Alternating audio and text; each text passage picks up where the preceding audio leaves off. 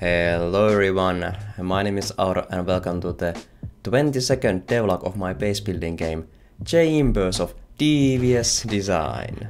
First of all, real quick, I just opened a Discord server, so if you want to have a chat and hear the latest news, come join me there, I'll have the link in the description. In this devlog, I'm getting my game ready for the upcoming Steam Next Fest and finishing up all the features I need for that.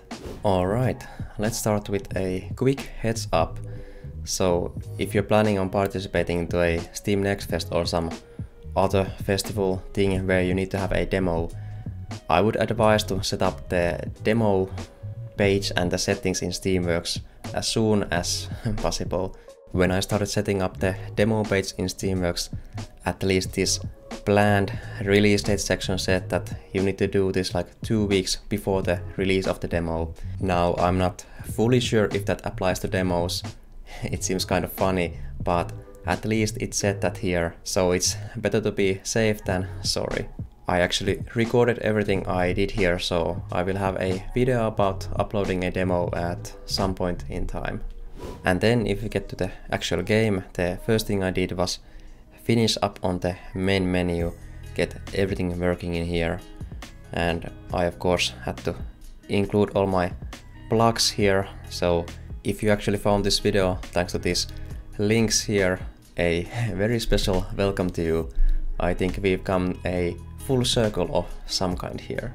I also added a little ad here for the full game, so hopefully anyone who tries out my demo will like get so excited that they will immediately go wishlist the game. One thing I had to spend quite a bit of time on was key bindings. I think they look quite nice now, but last time when I worked on these, I had some issues and I didn't really leave any good notes for myself what were the issues and how I would go about fixing them. So that's a lesson for my future self to leave good notes because I had to spend a bit of extra time to brush up on what, what I needed actually to do here. But luckily everything works now, at least for one player, so that's all good for the demo.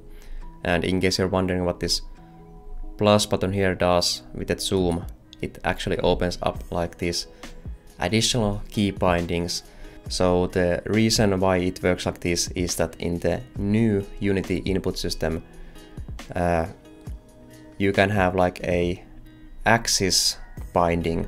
So for example, the scroll wheel, so it can go in two directions, either negative or positive. So positive scrolls up and negative scrolls down. But you can't actually like rebind it easily into two separate buttons. So I actually need to have these like separate bindings here if I want to change this something else rather than a scroll wheel. I don't know if some of you have used the new Unity input system and have a better way of handling this, I would love to hear about it. Then speaking of key bindings, it reminded me of the tutorial which I also finished. Let's just skip this dialogue in the start. So yeah, I made a simple tutorial like this. Little notes here and this is what I'm most proud of in the tutorial. So I actually have the like key bindings included in here and they are dynamic. So if you actually change the key bindings before going to the tutorial, these will actually reflect the changes and show the like newest newest selection so then, other stuff I need to do for the demo. One big thing was balancing. So before I kind of had everything randomized, like for example this room scores, the amount of doors and things like that. So what I did was try to come up with these formulas for room values. Now I don't know how good the formulas I came up with actually are, but it's my first attempt at balancing the rooms, so each room type should now have like this about like same value in the game. Of course there's still some randomization going on, but if you're talking about averages, then yeah, on average they should be about the same value now. I think one tough part about coming up with formulas is that you want them to be complex enough to like fulfill their purpose, but at the same time, I think they should be like simple enough that you can actually understand them tomorrow when you look at the code. So that's a bit of a balancing effort, like what kind of things you want to actually like account for in the formula. You could make it like super detailed, but I don't think that is always like the best way to go about it. Then I also did balancing for other things like these demands here and some of the room effects and things like that. Another thing I worked on were the musics in the game. So I tried to roleplay and audio engineer a bit. I went through all the music I have in the game and tried to make them a bit more uniform uh, with each other. So all the audio levels, at least in the music, should be fairly similar to each other. Some of the music tracks I have in the game also had these like very high peaks within them, so I tried to level those out a bit. Overall I think I did a decent job with the music.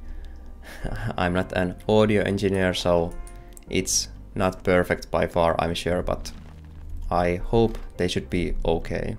Oh and one issue I had with the music actually was that a portion of my music were these like normal tracks but a large portion of them were these loops. So that poses a problem when the music changes in the game. So if you have a loop, it likely stops like boom into a wall, the music. But if you have a track, those usually have like a more natural ending to them. So that was one thing I needed to account for. And at first I had this like great plans, like these technical ideas, like okay, I can detect uh, what is a loop and what is a track. So like for loops, maybe I can loop it like two or three times in the game and then have like a fade out at the end on the code side.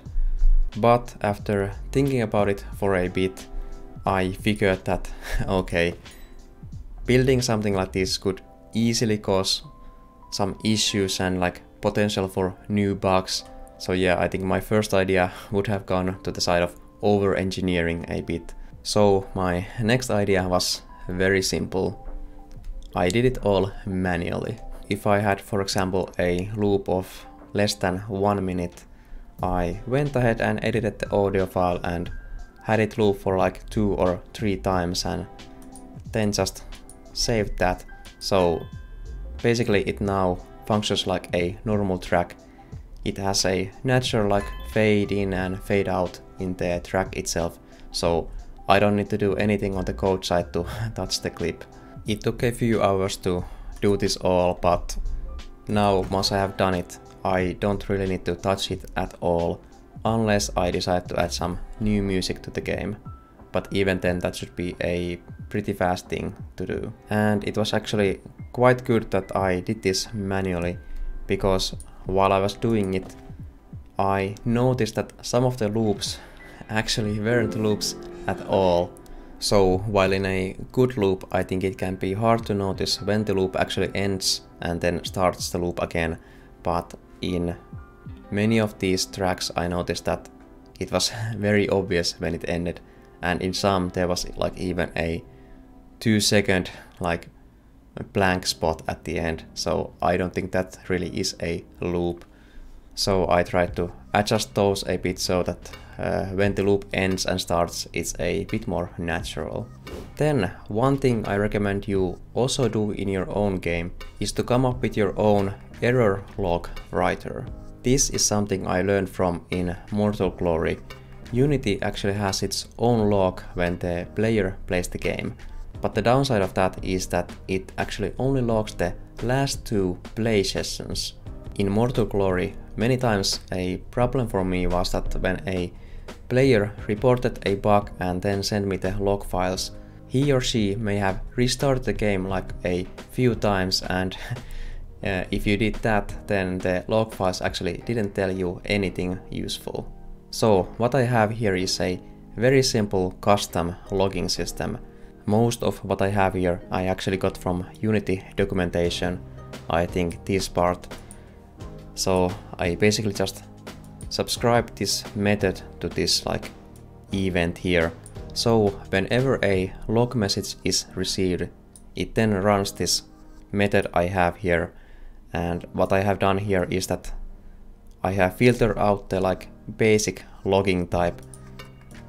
So I will get everything else that is in this list. So I'm most interested in the like error and yeah maybe the exception logs and the warning is also nice to know but I don't want to know like everything so the log file won't get like cluttered with all this useless stuff.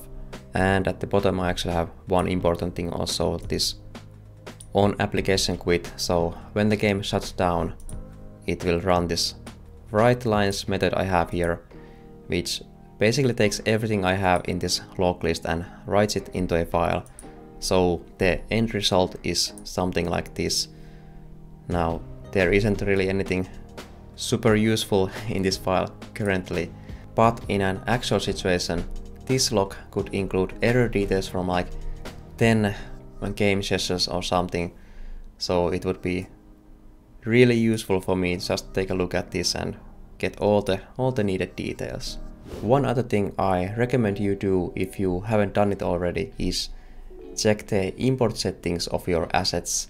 At least the audio files, I think those are most important. So for example, in my case, when I created a build of the game and tried to run it, there was like a 3 to 5 second delay before the actual game started and I felt like that could be quite annoying just looking at the blank screen and nothing happens. So what actually caused that was that I had this like big music files in the game and those were all pre-loaded before the game started and that caused a significant delay when starting the game.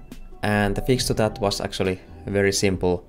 I just changed this load type to streaming. So now the music files aren't like loaded at the beginning of the game, they are streamed when they are actually needed. Now I don't recommend you have streaming in all of the audio files. For example, in this like short sound effects I have in the game, I do load them at the start of the game, so when they are needed, the game actually doesn't need so many resources to play the file. Then what else? I actually went ahead and removed some of the content in the game, like for example this specific room types or abilities. The reason for that is that I didn't want the demo to have too much content. I think it's a bit of a balancing effort because you want the demo to be fun, but you still don't want it to like contain too much of your actual game so there won't be like players who play the demo and then are like, okay, yeah, I had my fix, I saw everything the game had to offer, so no need to buy the actual game. So yeah, I did that and actually with that the demo was pretty much finished.